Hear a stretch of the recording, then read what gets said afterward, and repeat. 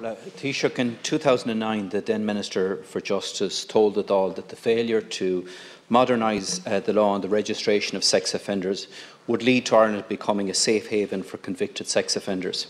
Now, 151 months later, that gaping hole in our so-called sex offenders register has yet to be closed off.